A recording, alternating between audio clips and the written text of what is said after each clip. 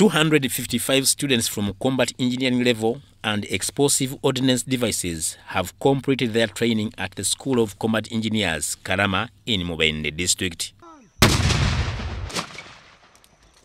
The Joint Staff, Chief Engineering, Brigadier General Besigye Bekunda, who was the chief guest, urged the graduates to maintain the discipline they exhibited during the training whenever they are deployed to live longer.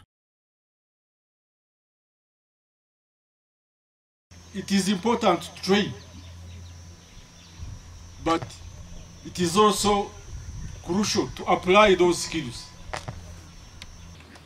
So we expect you the, the, the way you have demonstrated in the exercises there. We hope that you will perform even much better. Most often, uh, students have high discipline in training schools, but when they get out there, they run astray. Please, for you as an individual, you have to maintain discipline. I can assure you, uh, maintain discipline, you will, first of all, live longer, because if you go to, to, to, to those bars and related activities that are there, you know what, what will end up with you. you the little money you, you, you earn, you will drink, you will spend it in the bars. The commandant of the School of Combat Engineers, Colonel Wilson Kabera, thanked the Ministry of Defense and the UPDF strategic leadership for supporting the school, which has gone from one block building to a bombing school. The UPDF capability, troop readiness, and discipline are enshrined in its training values and in our capacity to adapt and counter enemy threats.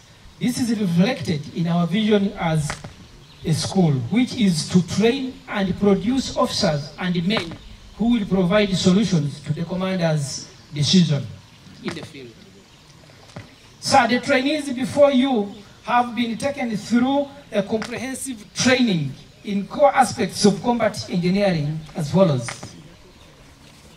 Organization, rigging, demolition, water supply, mine warfare, bobby traps, rods, rafts, watermanship, urban mobility bridging, EOD stroke demining, bridging, utilities, political education, and financial resilience.